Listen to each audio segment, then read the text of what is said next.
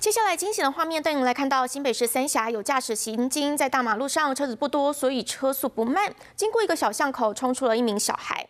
画面中可以看到，穿着浅色上衣的小男孩跑到了马路中央，驾驶赶快将车子往内侧车道偏移，并且减速。家长从巷口冲出来，将小孩抱走，差一点就要酿成意外了。提醒您，根据儿少法的规定，对于六岁以下儿童，不能让他独处的，违者可以处三千元以上一万五千元以下的罚款。